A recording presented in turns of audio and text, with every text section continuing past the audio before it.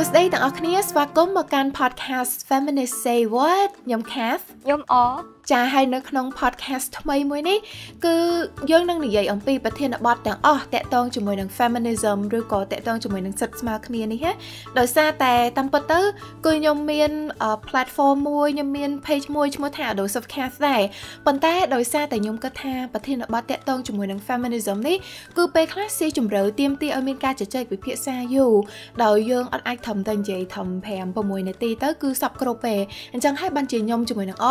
បានបង្កើត podcast Feminist Say What នេះឡើងមកដើម្បីជជែកឲ្យស៊ីជម្រៅពីប្រធានបទទាំងអស់នេះហ្មងអ្នកទាំងអស់គ្នាធ្លាប់ឆ្ងល់ហើយមិនបានគេនិយាយអញ្ចឹងអញ្ចឹង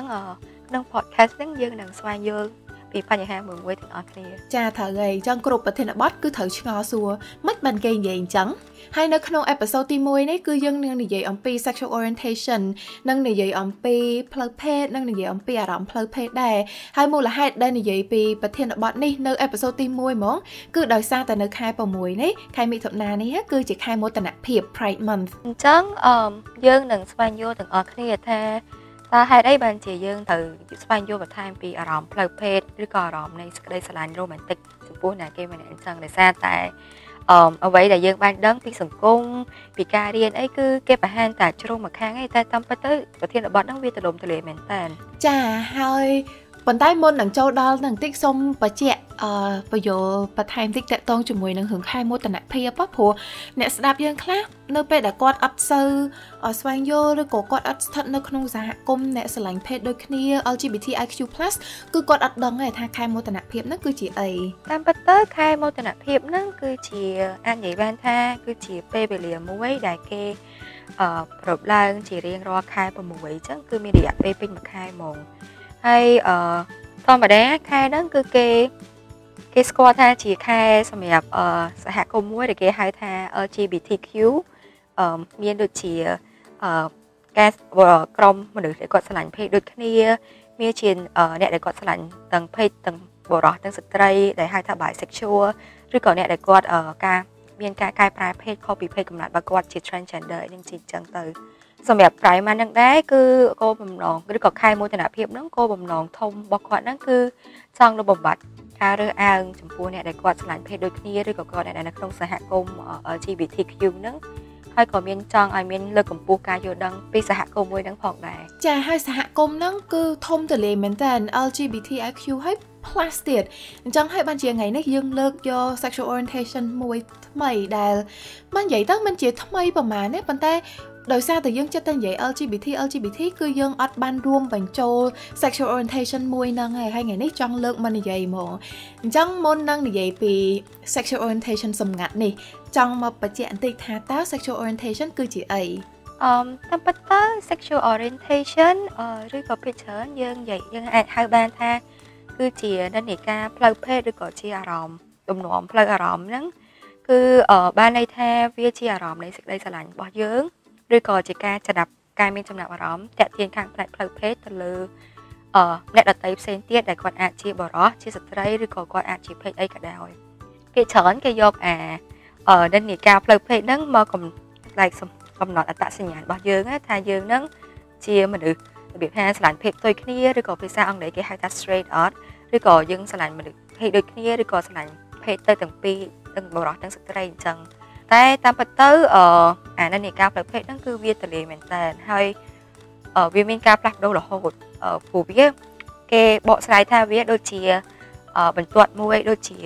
ធ្នូមួយអញ្ចឹងអញ្ចឹងទៅនិន្នាការផ្លូវភេទហ្នឹងវាអាចនៅមកកន្លែងបានទេគឺវាលោតទៅតាមវ័យនិងមជ្ឈដ្ឋានជុំវិញខ្លួនយើងគឺវានឹងលោតរហូតអឺពីអាចនិយាយថាពីលេខ1ទៅលេខ7ពីលេខ7ទៅលេខ3អីអញ្ចឹងរហូតដែរ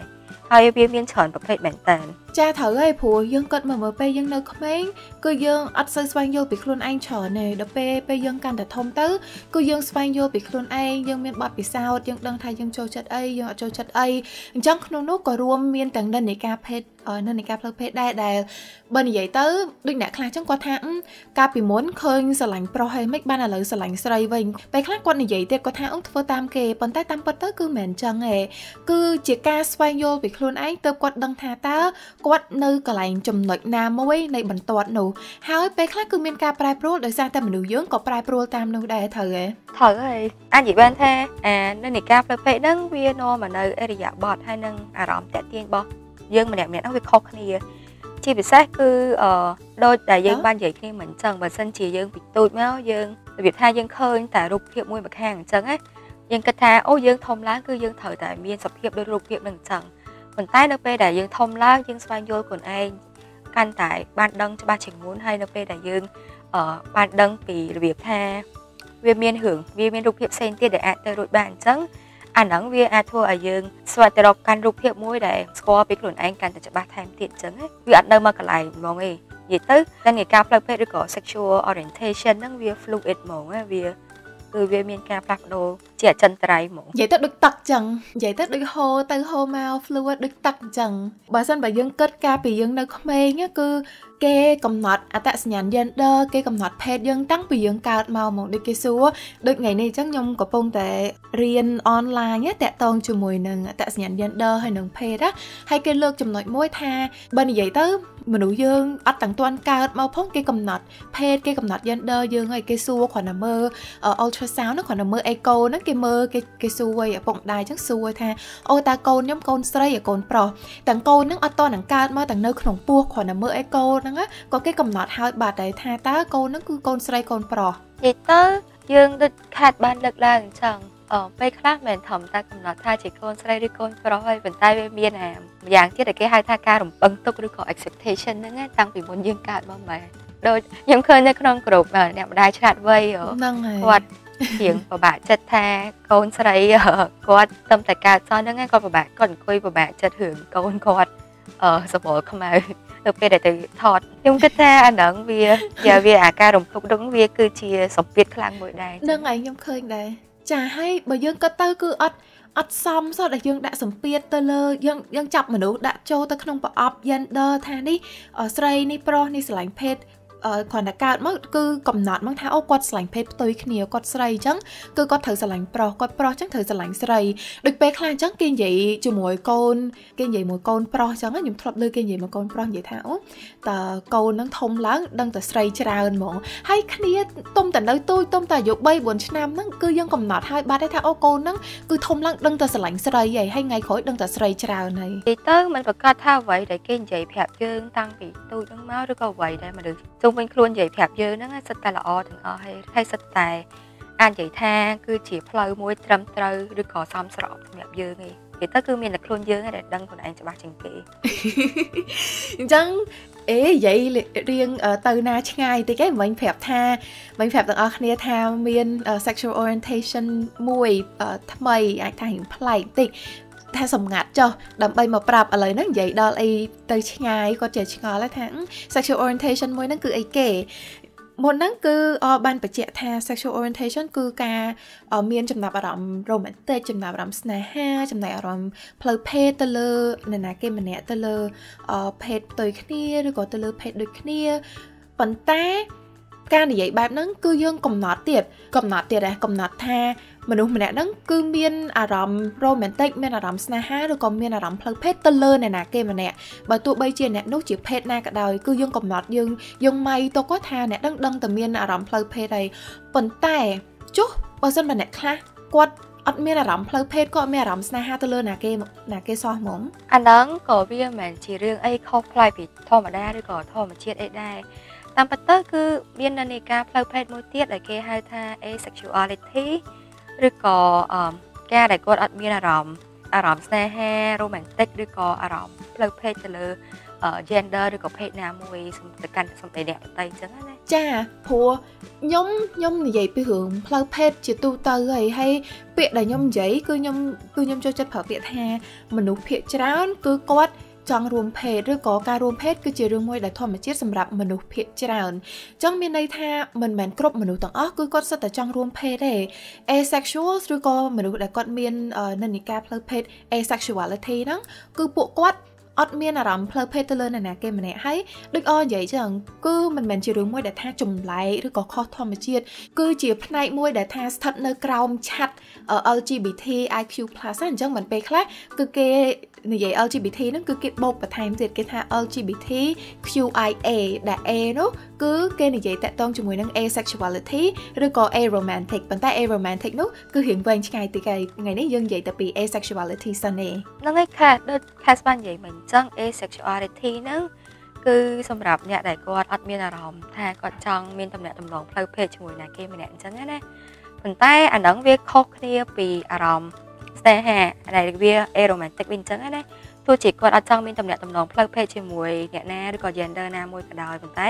ពេលខ្លះគាត់នៅតែអាចមានអារម្មណ៍ចង់មានអារម្មណ៍ស្នេហាឬក៏ចង់មានតំណែងតំណងស្នេហា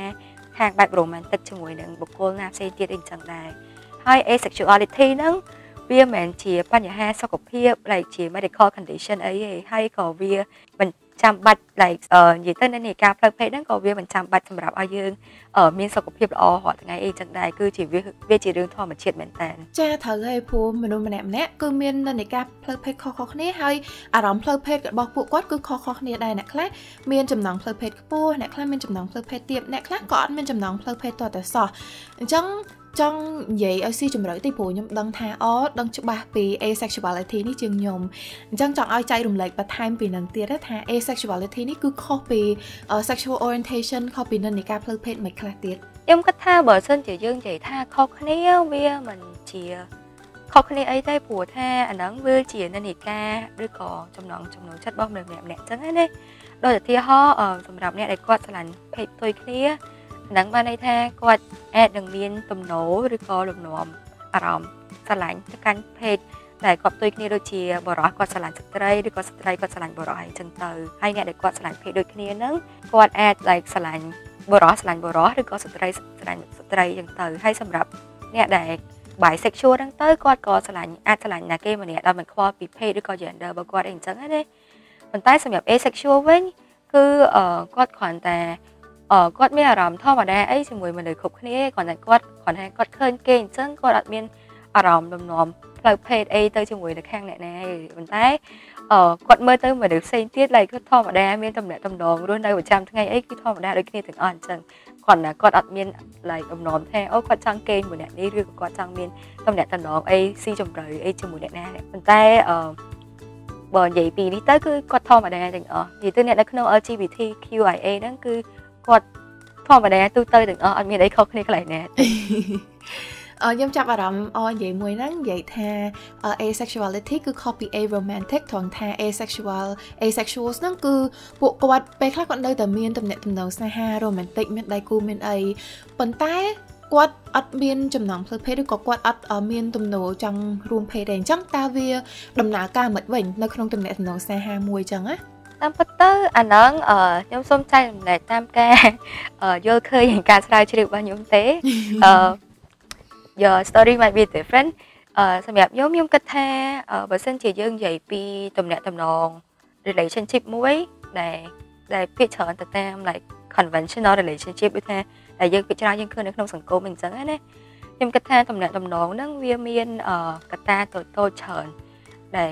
វាចូលរួមក្នុងការ រក្សាឲ្យ relation ឲ្យទំនាក់ទំនងមួយវាដើរទៅមុខបានអញ្ចឹងវាមិនមែនតែតែទំនាក់ទំនងខាងផ្នែកផ្លូវភេទឬក៏រាងកាយណាមួយទេប៉ុន្តែវាមានច្រើនទៀតដូចជាការយល់ពីគ្នាការយោគយល់ឲ្យគ្នាឬក៏ការស្រឡាញ់គ្នាតាមបែប romantic អីអញ្ចឹងណាអឺភាគច្រើនអ្នកដែលគាត់អឺមាននិន្នាការ asexuality ហ្នឹងឬក៏ asexual ហ្នឹងគាត់អត់សូវមានទំនោរខាងផ្លូវភេទមកទេប៉ុន្តែ មិនប្រកាសថាអ្នកដែលទាំងអស់ហ្នឹងគាត់អត់ដែរមានការរួមអត់ដែរសារល្បងការរួមភេទអីចឹងឯងប៉ុណ្ណឹងគឺវាមនុស្សម្នាក់ម្នាក់ខុសគ្នាទាំងអស់អញ្ចឹងប៉ុន្តែគាត់នៅតែស្រឡាញ់ដៃគូរបស់គាត់និងមានអារម្មណ៍ល្អចំពោះដៃគូរបស់គាត់ដូចជាអឺដូចជាដៃជាមួយនឹងគូស្នេហ៍ផ្សេងផ្សេងទៀតនៅក្នុងទំនាក់ទំនងផ្សេងទៀតអីចឹងដែរគ្រាន់តែអឺវាអត់សូវមានអាកតាទំនាក់ទំនងផ្លូវភេទហ្នឹងខ្លាំងដូចជាដៃគូដូចជាគូស្នេហ៍គេផ្សេងទៀតអីចឹងណា ចាខ្ញុំគិតថានៅក្នុងទំនាក់ទំនងស្នេហាជាមួយនឹងអ្នកដែលគាត់ដែលនិន្នាការផ្លូវភេទគាត់គឺ asexuality ខ្ញុំគាត់ថាទៀមទីឲ្យមានការនិយាយគ្នាទៀមទីឲ្យមាន communication ខ្លាំងណាស់ត្រូវហើយព្រោះធម្មតាយើងយើងគិតទេណាថាការរួមភេទគឺជាផ្នែកមួយដែលសំខាន់ដែរនៃទំនាក់ទំនងស្នេហាមួយប៉ុន្តែដោយសារតែ asexuals គឺពួកគាត់ អត់មានទំនោរទៅលើការរួមភេទទៅលើផ្លូវភេទទេអញ្ចឹងពេលខ្លះអាចធ្វើឲ្យតំណែងតំណងស្នេហានោះវារៀងសាំញ៉ាំតិចទៀមទីឲ្យមានការនិយាយគ្នាឲ្យដឹងគ្នាច្រើនដែរដើម្បីឲ្យអាចទៅមុខដែររលូនបានកុំឲ្យមានទំនាស់គ្នាទៅវិញទៅមកខ្ញុំគិតថាអឺតាមពិតទៅកត្តាតំណែងតំណងវាសំខាន់មែនតើដោយសារតែទី1អឺ asexuality ហ្នឹងគឺអត់សូវមានគេស្គាល់ច្រើនទេហើយ ចឹងទៅអឺអ្វីដែលយើងបានរៀនពីសង្គមហើយអ្វីដែលយើងបានឃើញតាមរយៈប្រព័ន្ធផ្សព្វផ្សាយ Hollywood pop culture អីចឹងចឹងហ្នឹងគឺគេតែងតែបង្ហាញឲ្យថាដៃគូនៅពេលដែលគាត់មានតំណែងតំណងស៊ីជម្រៅយូរឆ្នាំទៅគាត់ត្រូវតែមានតំណែងតំណងផ្លូវភេទហើយដល់ពេលចឹងទៅបើសិនជាមានភាគីម្ខាងណាគាត់ប្រកែកថាអូគាត់អាចចង់មានតំណែងតំណងផ្លូវភេទចឹងទៅអាចធ្វើឲ្យនឹងភាគីម្នាក់ទៀតគាត់រៀងប្រកាន់ប្រកាន់តែកំណត់តខ្លួនហ្នឹងថាអូ អាចមកពីដៃគូរបស់ខ្ញុំគាត់អត់ចង់ like រួមគាត់អត់ចង់មានតំណែងតំណងផ្លូវភេទមួយខ្ញុំអីចឹងប៉ុន្តែគាត់អាចនឹងមានតំណែងតំណងផ្លូវភេទអីមួយអ្នកផ្សេងទៀតអញ្ចឹងណានិយាយទៅគឺអត់សូវមានគេស្គាល់ថាអូអានឹងអាចមកពីកតានិន្នាការផ្លូវភេទអីចឹងប៉ុន្តែគាត់គិតតម្លាក់ទៅលើកតាបុគ្គលឬក៏កតាជុំវិញខ្លួនអីច្រើនជាងចឹងអញ្ចឹងនៅពេលដែលយើងអត់មានតំណែងតំណងមួយគ្នាហើយនឹងខ្វះចំណេះដឹងទៅលើខាងហ្នឹងអញ្ចឹងវាធ្វើឲ្យឈានវាអាចនាំមកនៅការឆ្លោះប្រកែកគ្នាខ្លាំងការចោទប្រកាន់ ជាពិសេសគឺនាំឲ្យការនាំឲ្យឈានទៅដល់ការបែកបាក់ទំនាក់ទំនងគូស្នេហ៍ហ្នឹងតែម្ដងហើយទំនាក់ទំនងស្នេហាហ្នឹងគឺអាចនឹងងាយប្រេះស្រាំបើសិនជាយើងអត់និយាយពីរឿងហ្នឹងឲ្យបានស៊ីជម្រៅអញ្ចឹងណា ហ្នឹងហើយខ្ញុំគិតថាចំណុចដែលអលើកឡើងតកតងជាមួយនឹងអីដែលយើងឃើញនៅក្នុង pop culture អីដែលយើងឃើញនៅក្នុងចម្រៀងអីដែលយើងឃើញនៅក្នុងរឿងក្នុងសភៅអីក៏ដោយគឺ asexuality គឺជានិន្នាការផ្លូវភេទមួយដែលកម្រខ្ញុំកម្រឃើញគេលើកបង្ហាញមកព្រោះធម្មតាអញ្ចឹងនៅពេលដែលគេនិយាយពីសហគមន៍អ្នកស្វែងភេទដូចគ្នាឬក៏យើងនិយាយថា LGBTIQ+ ចុះគឺភាគច្រើនគឺយើងផ្ដោតសំខាន់ទៅលើ LGBT អឺសំបីតែ I សំបីតែ intersex នោះក៏សឹងតែអត់មានការបង្ហាញនៅលើ pop culture ដែរហើយបើនិយាយពី asexuality គឺកាន់តែអត់សូវមានទេដែរដល់ពេលចឹងទៅគឺពួកគាត់គិតថាអញ្ចឹងហើយបានសំបីតែពាក្យខ្មែរយើងសហគមន៍ LGBTIQ+ ហ្នឹងគឺគេនិយាយថាអ្នកស្រឡាញ់ភេទដូចគ្នាប៉ុន្តែវាមិនមែនជាការបង្ហាញសម្រាប់ខ្ញុំណាវាមិនមែនជាការបង្ហាញឲ្យប្រកាសឲ្យច្បាស់ហ្មងឯថាសហគមន៍ហ្នឹងគឺក្តោបរួមទាំងអស់ដោយសារតែ LGBTIQ+ ហើយមាន LGBTQIA+ ហ្នឹងគឺមានលើសពីការស្រឡាញ់ភេទដូចគ្នាក៏មានការមិនស្រឡាញ់ភេទឬក៏ការមិនមានចំណងផ្លូវភេទទៅលើភេទណាមួយទាំងអស់ទៀតដោយសារតែมันមានការបង្ហាញទាំងអស់ហ្នឹងហើយគឺធ្វើឲ្យអ្នកខ្លះចឹងគាត់អត់ដឹងអាចថាគាត់ជា asexual ប៉ុន្តែគាត់អត់ដឹងខ្លួនឯងគាត់គិតថាអូប្រហែលជាដូចអ្នកខ្លះចឹងគាត់អាចគិតទៅថាប្រហែលជាមកពីគាត់មានអត់ ស្រួលកន្លែងណាឬក៏អត់ល្អកន្លែងណាឬក៏ដូចគាត់គិតថា something wrong with me អញ្ចឹងណាអញ្ចឹងអគិតថាបើសិនបើមនុស្សម្នាក់គាត់អត់ដែលមានចំណងផ្លូវភេទទៅលើអ្នកគេម្នាក់ឯងតើគាត់ធ្វើម៉េចដើម្បីដឹងថាគាត់ជា asexual សម្រាប់ខ្ញុំខ្ញុំអឺបើតាមការចែករំលែកបទពិសោធន៍តខ្លួនរបស់ខ្ញុំហ្មងគឺសម្រាប់ខ្ញុំពេលហ្នឹងគឺមានអារម្មណ៍ចាប់ផ្លឹកហ្មងថាដូចតាំងពីក្មេងៗមកដូចឃើញ មិត្តភក្តិអីគាត់ចេះតែផ្អាប់គ្នាចេះតែរបៀបថាលួចឆ្លាញ់គ្នាមានក្រាស់មានអីចឹងណាប៉ុន្តែអឺបើខ្ញុំវិញខ្ញុំអត់ដែរមានអារម្មណ៍ចឹងឯងដូចថាមើលទៅមនុស្សគឺមនុស្សហ្មងមនុស្សប្រុសមនុស្សប្រុសហើយមនុស្សស្រីមនុស្សស្រីចឹងហ្មងតែអត់មានអីក្រៅពីនឹងចឹងហ្មងណាដល់ពេលចឹងទៅអឺពេលហ្នឹងចេះឆ្ងល់ដែរអឺមិនបើខ្ញុំមកចេះមានក្រាស់មានអីដូចគេចឹងហើយឃើញគេហ្នឹងឃើញហ្នឹងដូចសុបាយហើយអឺពេលហ្នឹង គាត់ថាទីមួយគាត់ថាមកពីអាចមកពីខ្លួនឯងហ្នឹង lại មានទំនុកចិត្តលើខ្លួនឯងទៀតពេលអញ្ចឹងណាប៉ុន្តែដល់ពេលអឺរបៀបថានៅពេលដែលនៅក្នុងថ្នាក់អញ្ចឹងមានគ្រូមានដែលបាត់រួមថ្នាក់ហ្នឹងគាត់ចេះតែផ្អាប់អីអញ្ចឹងទៅជាមួយនឹងក្មេងប្រុសអីផ្សេងទៀតអញ្ចឹងហើយពេលហ្នឹងមានអារម្មណ៍ថាពិបាកក្នុងខ្លួនមែនតើថាសម័យក៏សម័យអត់ចេញដែរថាខ្ញុំនឹងមានតអ្នកតំណងស៊ីជម្រៅអីមួយនឹងផ្សេងទៀតអញ្ចឹងណាហើយកាលពីក្មេងហ្នឹងចេះតែយកលេសអូយខ្ញុំសុខចិត្ត ផ្ដោតសំខាន់ទៅលើរឿងរៀនអីចឹងណាហើយលេសហ្នឹងវាចេះតែមានតទៅទៀតទៅពេលចូលសកលសកលរវល់ដល់ពេលចេញធ្វើការចេញធ្វើការដល់ពេលគេអត់បានហងទៅគិតអីរឿងហ្នឹងអញ្ចឹងប៉ុន្តែដល់ពិតទៅ it's like um យើងអាយុកាន់តែធំទៅយើងស្គាល់ខ្លួនឯងកាន់តែសម័យរឿងនឹងអត់ចេញអញ្ចឹងណាហើយនៅពេលដែលខ្ញុំចាប់ដើម research ទៅចាប់ដើមអីចឹងទៅបានដឹងថាអូតាមពិតមែនតែខ្ញុំម្នាក់ណាដែលមានអារម្មណ៍បែបហ្នឹងអញ្ចឹងហើយវាមាន ជានិន្នាការផ្លូវភេទមួយដែលមានមនុស្សជាច្រើនដែលគាត់មានអារម្មណ៍បែបហ្នឹងដែរគាត់តែគេអឺគាត់តែគេអត់ដែរនិយាយពីរឿងហ្នឹងអីចឹងណាអញ្ចឹងទៅធ្វើឲ្យយើងអត់សូវបានស្គាល់រឿងហ្នឹងអញ្ចឹងអាចនិយាយបានថាហ្នឹងវាជាកង្វះខាតព័ត៌មានមួយដែរចាអូដែរប្រាប់ណាគេតកតងជាមួយនឹងអឺប្រាប់ថាអូជា asexual ដែរប្រាប់ណាគេអញ្ចឹងហ៎បើនិយាយទៅអឺខ្ញុំគិតថារបស់ខ្ញុំហ្នឹងវាមិនសម្រាប់អ្នកដែលគាត់ asexual ផ្សេងទៀតគាត់ គាត់ refer ទៅរឿងខ្លួនឯងហ្នឹងថា coming out ចឹងដែរហ្នឹងដូចថាជាថមមួយអ្នកដែលអ្នកគាត់ឆ្លាញ់ភេទដូចគ្នាគាត់ប្រាប់នៅពេលដែលគាត់ទទួលស្គាល់តែគាត់ចេញមុខហ្នឹងហើយគាត់ចេញមុខថាគាត់ឆ្លាញ់ភេទដូចគ្នាអីចឹងប៉ុន្តែអឺសម្រាប់ខ្ញុំវិញខ្ញុំគិតថារឿងរបស់ខ្ញុំវាដូចមិនជា coming out អីទេដោយសារតែទីមួយខ្ញុំគិតថាខ្ញុំអត់ដែលបខំខ្លួនឯងឲ្យទៅធ្វើអីដែលខ្លួនឯងអត់គិតថាអត់ comfortable ជាមួយអញ្ចឹងណាអឺដូចថាអត់អត់ចង់ អត់ចង់មានក្រាស់អត់ចង់មានអីចឹងក៏អត់បខំខ្លួនឯងទៅមានក្រាស់ទៅទៅទៅដេកទៅអីចឹងដែរហើយអឺសម្រាប់អ្នកដែលគាត់ស្គាល់ខ្ញុំរៀងច្បាស់ទៅហើយរៀងយូរឆ្នាំទៅខ្ញុំគិតថាគាត់ចាប់អារម្មណ៍ចាប់ផ្លឹកខ្លួនឯងមកអត់ចាំបាច់ឲ្យខ្ញុំប្រាប់ទេចឹងទៅវារៀងដូចជួយជួយរំសាយឲ្យសម្ពាធនឹងខ្លះដែរបើថារឿងភ័យគេខ្លាចគេដឹងខ្លាចគេអីចឹងណាប៉ុន្តែអត់ដែរប្រាប់គេផ្ទាល់ហ្មងឯថាខ្ញុំ asexual អត់ដែរនិយាយចឹងហ្មងឯងគឺគេដឹងហ្មង ខ្ញុំធ្លាប់ប្រាប់មិត្តភ័ក្តិចិត្តស្និទ្ធពីរបីនាក់ដែរប៉ុន្តែអឺអាចនិយាយបានថាទីមួយគាត់អត់ទាន់បានស្គាល់អា asexuality spectrum ហ្នឹងបានស៊ីជម្រៅអញ្ចឹងណាហើយទៅអឺមួយទៀតចាខ្ញុំគិតថាទោះជាគាត់អត់ទាន់ស្គាល់ប៉ុន្តែគាត់អាចយល់បានថាអ្វីដែលខ្ញុំចង់និយាយហ្នឹងសំដៅទៅលើអីបានអញ្ចឹងណាហើយ like អឺខ្ញុំ like grateful មែនតើនៅពេលដែលគាត់គិតថា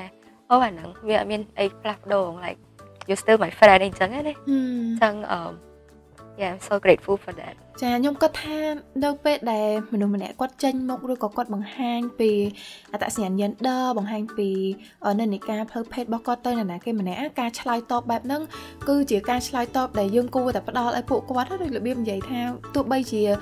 មិនទោះបីជាមនុស្សម្នាក់ទោះបីជាអមាននិន្នាការផ្លូវភេទមិនក៏នៅតែជាមិត្តភ័ក្តិក៏នៅតែជាមនុស្សដដែលអញ្ចឹងជាជាងមើលទៅគាត់ទៅជាមនុស្សផ្សេងមួយអញ្ចឹង ចង់សួរបន្តហ្មងថាឥឡូវបើសិនបើមនុស្សម្នាក់គាត់គិតថាគាត់ជា asexual ឬក៏បើសិនបើមនុស្សម្នាក់ចឹងគាត់មានមិត្តភ័ក្តិមិត្តភ័ក្តិគាត់មើលទៅគាត់គិតថាប្រហែលជា asexual អីចឹងណាតើគាត់គួរនិយាយអីខ្លះឬក៏អត់គួរនិយាយអីខ្លះដើម្បីកុំឲ្យប៉ះពាល់ដល់អារម្មណ៍មិត្តភ័ក្តិគាត់ហ្នឹងណាសម្រាប់ខ្ញុំខ្ញុំគិតថានិយាយបើយើងនិយាយទៅលើរឿងនិន្នាការផ្លូវភេទឬក៏អត្តសញ្ញាណផ្លូវភេទហ្នឹងតែម្ដង អឺខ្ញុំគិតថាម្នាក់ម្នាក់គាត់នៅតែក្នុងពេលវេលាមួយដែលកំពុងតែស្វែងស្វែងយល់ព្យាយាមស្វែងយល់ពីខ្លួនឯងអញ្ចឹងឯងអញ្ចឹងទៅបើសិនជាមានមិត្តភក្តិយើងបាននិយាយប្រាប់ថាអូខ្ញុំប្រហែលជា asexual អីអញ្ចឹងយើងកុំថាភ្លាមអមែនទេហើយមិន asexual ទេហើយឆ្លាញ់ស្រីទេអញ្ចឹងណាអឺបើសិនជាក្នុងពេលហ្នឹងគេប្រាប់អីជឿគេសិនទៅហើយអឺអឺគាត់គិតថា label ហ្នឹងអាចធ្វើឲ្យគាត់មានអារម្មណ៍ល្អមួយខ្លួនឯងជាងមុន យើងអាចផ្ដល់នូវការគ្រប់គ្រងឬក៏ជាការ support ឲ្យពួកគាត់បានអញ្ចឹងណា like validate their sexual orientation ហើយខ្ញុំគិតថាដូចយើងបាននិយាយគ្នាមកកណោមិញហើយហើយទំនាក់ទំនងដៃគូស្នេហា គឺវាអាចខុសគ្នាពីដៃគូមួយទៅដៃគូមួយអញ្ចឹងអញ្ចឹងបើសិនជាតំណែងតំណងរបស់គាត់ជាមួយនឹងដៃគូគាត់អាចខុសពីដៃគូយើងអាចខុសពីយើងជាមួយនឹងដៃគូយើងអាហ្នឹងអឺយើងក៏ អត់គួរមានសិទ្ធអីទៅរិះគន់ឬក៏ផ្ដល់មតិយោបល់អីបើមិនជាគេអត់សួរអីចឹងណាព្រោះយើងកុំគិតថាតើតែអ្នកនឹងគាត់មានតំណែងតំណងផ្លូវភេទដែលគាត់សប្បាយចិត្តអីចឹងឬក៏គាត់អត់មានបទពិសោធន៍ច្រើនអីចឹងតាមពិតទៅ like អឺមនុស្សគាត់អាចស្វែងរកវិធីច្រើនទៀតដើម្បី like អឺវាថារកសុភមង្គលឬក៏រីករាយដែលខ្លួនឯងបានចាត្រូវហើយចាំបាច់តតែធ្វើអ្វីដែលមនុស្សភាគច្រើនមនុស្សភាគច្រើនគាត់ធ្វើហើយត្រូវហើយព្រោះតាមពិតទៅវិធីសាស្ត្រក្នុងការស្វែងរកដែល គេនិយាយថាអត្តន័យនៃជីវិត meaning of life ឬក៏ fulfillment អ្វីដែលធ្វើឲ្យយើងមានអារម្មណ៍សុបាយចិត្តហ្នឹងគឺវាលើសពីការរួមភេទខ្ញុំដឹងថាខ្ញុំនិយាយពីរឿងផ្លូវភេទរហូតដែរប៉ុន្តែតាមពិតទៅរឿងផ្លូវភេទរឿងការរួមភេទហ្នឹងគឺមិនមែនជាចំណុចអីដែលសំខាន់ជាងគេក្នុងជីវិតយើងទេអ្នកខ្លះអញ្ចឹងគឺគាត់ អ្នកខ្លះគឺគាត់ចូលចិត្តដើរកំសាន្តព្រោះតែការដើរកំសាន្តហ្នឹងក៏អាចជាវិធីសាស្ត្រមួយក្នុងការស្វែងរកភាពសុបាយរីករាយសុភមង្គលក្នុងជីវិតរបស់គាត់ដែរដូចខ្ញុំអញ្ចឹងគ្រាន់តែការអានសភៅឬក៏ការសរសេរក៏ជាវិធីសាស្ត្រមួយសម្រាប់ខ្ញុំដែរអញ្ចឹងមនុស្សម្នាក់ម្នាក់គឺខុសៗគ្នាហើយយើងអាចរំពឹងទុកថាដូចខ្ញុំធ្លាប់ឮអ្នកខ្លះអញ្ចឹងដែលការនិយាយបែបនេះគឺធ្វើឲ្យមានគំនិតដែលគិតថាការរួមភេទឬក៏រួមផ្លូវភេទនេះគឺសំខាន់ជាងគេគឺនៅពេលដែលគេនិយាយខ្ញុំធ្លាប់ឃើញព័ត៌មានខ្លះដូចគេនិយាយថាមនុស្សប្រុសម្នាក់គាត់មានគ្រោះថ្នាក់គាត់ជួបគ្រោះថ្នាក់អីមួយចឹងហើយគេត្រូវកាត់ប្រដាប់ភេទរបស់គាត់គេត្រូវកាត់លឹងរបស់គាត់ហើយក៏ចូលក៏មានអ្នកចូល comment ឬក៏អ្នកនិយាយថាអូខូចអនាគតអស់ហើយអូជីវិតមិនមានន័យទៀតអត់បានរួមភេទចឹងការនិយាយទាំងអស់ហ្នឹងគឺដូចជាការកំពុងតែដាក់បន្ទុកហ្នឹងថាបើសិនបើយើងអត់បានរួមភេទបើសិនបើយើងអត់ចេះរួមភេទបើសិនបើយើងរួមភេទអត់បានទេគឺយើងជាមនុស្សដែលអត់មានអត្តន័យនៅក្នុងជីវិតជីវិតយើងគឺអស់ន័យប៉ុន្តែបើយើងគិតមើលក្រៅពី ក្រៅពី asexuals ក្រៅពីអ្នកដែលគាត់អត់អត់មានទំនោរឬក៏អត់មានអារម្មណ៍ចង់រួមភេទហ្នឹងគឺយើងមើលទៅអ្នកដែលមានពិការភាពអ្នកដែលមានពិការភាពមួយចំនួន គឺគាត់អត់អាចរួមភេទបានទេអញ្ចឹងគាត់បាត់បង់សមត្ថភាពនៅក្នុងការរួមភេទរបស់គាត់ប៉ុន្តែជីវិតរបស់គាត់គឺនៅតែអាចមានអត្តន័យបានអញ្ចឹងអញ្ចឹងយើងអត់អាចចាត់ទុកថាអូតតតែយើងតតតែមនុស្សទាំងអស់គ្នារួមភេទទៅបានមានអត្តន័យនៅក្នុងជីវិតទេយើងចង់បន្ថែមមួយទៅលើអ្វីដែលខែបាននិយាយដែរអញ្ចឹងណាបើសិនជា យើងបានជួបនឹង asexual ណាម្នាក់នៅក្នុងជីវិតពិតរបស់យើងអញ្ចឹងណាអឺមានរឿងមួយទៀតដែលយើងអត់គួរនិយាយ like ចំពោះគាត់សោះនិយាយទៅកាន់គាត់សោះហ្មងណាគឺអឺតតែសាកសិនបានដឹងអាហ្នឹងអឺសម្រាប់យើងខ្ញុំគិតថាវាអាចនឹងប៉ះពាល់ផ្លូវអារម្មណ៍ខ្លាំងដោយសារតែអឺទី1ខ្ញុំគិតថាមុនមុននឹងពេលគាត់ប្រាប់យើងអីអញ្ចឹងហ្នឹងគាត់គិតយូរហើយគាត់ស្វែងគាត់មានរយៈពេលអឺ គាត់មានអាមន្ទិលក្នុងខ្លួនហ្នឹងច្រើនដងហើយមកមកគាត់សម្រាប់ចិត្តថាអូខេអាហ្នឹងវាសាក់វាស៊ីចង្វាក់ជាមួយនឹងអ្វីដែលគាត់មានអារម្មណ៍នៅខាងក្នុងខ្លួនគាត់អញ្ចឹងណាដល់ពេលដែលយើងនិយាយពាក្យហ្នឹងចេញមកវាធ្វើឲ្យដូចថាអ្វីដែលគាត់ស្គាល់ពីខ្លួនឯងហ្នឹងដូចយើងអត់ឲ្យតម្លៃសោះហ្មងហើយមួយទៀតអឺវាទៅជាលើកទឹកចិត្តឲ្យមនុស្សមួយចំនួនគាត់គិតថាមានមធ្យោបាយក្នុងការ កែប្រែឬក៏ព្យាបាលនិន្នាការផ្លូវភេទ asexuality នឹងអញ្ចឹងហើយក្នុងករណីខ្លះវាអាចនឹងជ្រុលនិយមមែនតើដែលវាអាចនឹងនាំមកនៅ like គេហៅថា correct corrective rape ដែលគាត់ថាមនុស្សហ្នឹងគាត់ like បង្ខំការរំលោភសេពសន្តិវៈអីហ្នឹងទៅលើបុគ្គលម្នាក់ទៀតដែលគាត់ជា asexual ហ្នឹងដើម្បីកែប្រែនៅនឹងឯកាផ្លូវភេទរបស់គាត់អញ្ចឹងណាចឹងទៅអ វាអត់ល្អមែនតើចាហើយតកតងជាមួយនឹងអីដែលអននិយាយមិញតកតងនឹង corrective rape ឬក៏តកតងជាមួយនឹងការនិយាយថាតតសាកបណ្ដឹងនេះគឺអ្នកដែលនៅក្នុងសហគមន៍ LGBTIQ+ នេះគឺពួកគាត់ជួបប្រទេសច្រើនព្រោះសំបីតែអ្នកដែលគាត់ស្រឡាញ់ភេទដូចគ្នាដូចជា lesbian ឬក៏ gays អីចឹងក៏ខ្ញុំអាសាឮគេនិយាយដែរគេថា ឧទាហរណ៍ថាមនុស្សម្នាក់គេនិយាយថាគេគេចេញមុខថាអូខ្ញុំស្រឡាញ់ភេទដូចគ្នាអញ្ចឹងគេនិយាយថាអឺមកពីអត់ដែលសាកមនុស្សស្រីឬក៏មកពីអត់ដែលសាកមនុស្សប្រុសនិយាយទៅដូចភ្លក់មហូបអញ្ចឹងវាវាអត់ make sense ដូចរបៀបថា ហេតុអីបានជាយើងមិននិយាយបើសិនបើយើងគិតថាពាក្យហ្នឹងនិយាយទៅសមហេតុផលហេតុអីបានជាយើងមិនដែលប្រាប់អ្នកដែលគាត់ថាគាត់ស្រឡាញ់ភេទផ្ទុយគ្នាដូចមនុស្សម្នាក់ថាអូខ្ញុំខ្ញុំជាភេទប្រុសខ្ញុំស្រឡាញ់ស្រីហេតុអីបានជាយើងមិនទៅនិយាយមួយគាត់ថាអត់ទាន់សាកមនុស្សប្រុសអញ្ចឹងមិនគិតថាស្រឡាញ់ស្រីទៅសាកមនុស្សប្រុសទៅបានស្រឡាញ់ភេទដូចគ្នាបើសិនបើយើងមិននិយាយចឹងទៅអ្នកដែលស្រឡាញ់ភេទផ្ទុយគ្នាយើងក៏មិនគួរនិយាយចឹងទៅអ្នកស្រឡាញ់ភេទដូចគ្នាឬក៏ទៅ LGBTIQ+ ដែរហើយអឺម្យ៉ាងទៀតនៅក្នុង វប្បធម៌មួយចំនួនហ្នឹងជាពិសេសអឺវប្បធម៌មួយចំនួនធំដែលគាត់រៀងដាក់សម្ពាធខ្លាំងទៅលើស្ត្រីអញ្ចឹងណាជាពិសេសនៅក្នុងតំណែងតំណងដែលគេហៅថាបែបប្រពៃណីដែលជាមួយនឹងបុរសនិងស្ត្រីអញ្ចឹងណាអញ្ចឹងទៅឧទាហរណ៍ដូចជាក្នុងវប្បធម៌ខ្មែរយើងហ្នឹងសង្គមវប្បធម៌ខ្មែរយើងហ្នឹងគាត់ភាគច្រើនគាត់បរៀនគាត់បញ្ចុកក្មេងស្រីនិងស្ត្រីខ្មែរយើងហ្នឹងឲ្យកែធំទៅទៅអឺអ្នកខ្លះគាត់ អាចនឹងអត់មាន like ចំណងផ្លូវភេទឬក៏អាលំ like លំនាំអារម្មណ៍ផ្លូវភេទហ្នឹងទៅកាន់ like ភេទណាម្នាក់ឯងប៉ុន្តែគាត់អត់អត់យល់ពីខ្លួនអត់តន់យល់ពីខ្លួនឯងបានច្បាស់អញ្ចឹងហើយគាត់អត់តន់ស្គាល់ទៀតថាហ្នឹងវាជាអីអញ្ចឹងណាអញ្ចឹងទៅពេលខ្លះនៅពេលដែលដៃគូគាត់អត់យល់ពីហ្នឹងគាត់ក៏អត់យល់ពីហ្នឹងហើយគាត់ចេះតែធំទៅធំទៅ